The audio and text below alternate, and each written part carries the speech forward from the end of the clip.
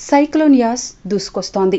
దేశంలోని మరో రెండు రాష్ట్రాలను ముంచేసేందుకు యాస్ తుఫాన్ రెడీగా ఉంది. ఉత్తర అండమాన్ సముద్రంలో ఏర్పడిన అల్పపీడనం ఈ నెల ఇరవై నాలుగవ తేదీ నాటికి తుఫానుగా మారే అవకాశం ఉందని భారత వాతావరణ విభాగం హెచ్చరికలు జారీ చేసిన సంగతి తెలిసిందే. సోమవారం నాటికి అది తీవ్ర తుఫాన్ యాస్గా ఏర్పడుతుందని భారత వాతావరణ కేంద్రం ఐఎండీ హెచ్చరించింది.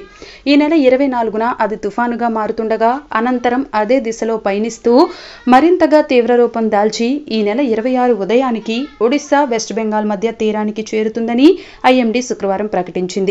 ఈ నేపథ్యంలోనే ఆంధ్రప్రదేశ్ సహా తీర ప్రాంతంలో ఉన్న ఐదు రాష్ట్రాలు కేంద్రపాలిత ప్రాంతాలు అప్రమత్తంగా ఉండాలని కేంద్ర వైద్య ఆరోగ్య శాఖ శుక్రవారం సూచనలు చేసింది. తౌక్టే తుఫాను సృష్టించిన బీభత్సం ఇంకా మరొక ముందే మరో తుఫాను సిద్ధమైపోయింది. ముఖ్యంగా ఆంధ్రప్రదేశ్ రాష్ట్రంలో ప్రధానంగా ఉత్తర కోస్తాంధ్రలో అక్కడక్కడ వర్షాలు కురుస్తున్నాయి. తుఫాను ఏర్పడనున్న నేపథ్యంలో సముద్రం అలజడిగా ఉంటుందని మత్స్యకారులు చేపల వేటకు వెళ్ళొద్దని ఐఎండీ హెచ్చరించింది. మరోవైపు ఒడిశాలోని పద్నాలుగు జిల్లాల్లో కూడా అప్రమత్తతను ప్రకటించారు. ప్రస్తుత పరిస్థితిని ఎదుర్కొనేందుకు సమాయత్తమవ్వాలని నౌకాదళం తీర రక్షక దళాలను ఒడిశా ప్రభుత్వం అప్రమత్తం చేసింది. వెస్ట్ బెంగాల్ ఒడిశా ఏపీకి నడిపే ఇరవై రెండు ప్రత్యేక రైళ్ళను రద్దు చేస్తున్నట్లు రైల్వే శాఖ కూడా ప్రకటించింది. తుఫాను ప్రభావిత రాష్ట్రాల్లో ఎన్డీఆర్ఎఫ్ బలగాలను మోహరించారు. ముంపు తీర ప్రాంతంలోని ప్రజలను సురక్షిత ప్రాంతాలకు తరలిస్తున్నారు.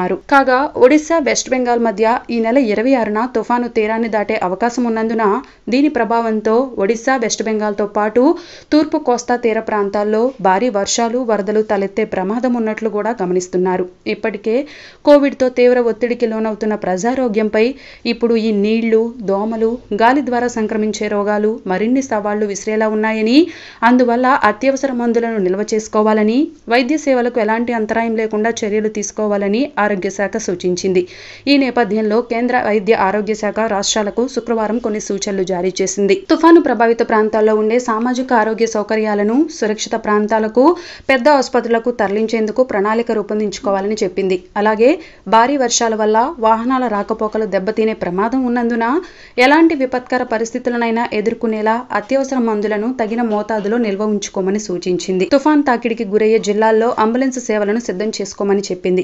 ఇరవై నాలుగవ తేదీన ఉదయం వాతావరణ శాఖ జారీ చేసే ప్రకటనను గమనించాలని అల్పపీడనం ఎక్కడ తీరాన్ని తాకి తుఫానుగా సంతరించుకుంటుందో ఆ ప్రాంతంలోని హాస్పిటల్స్ ఖాళీ చేయించేందుకు చర్యలు తీసుకోవాలని కేంద్రం రాష్ట్రాలకు సూచించింది.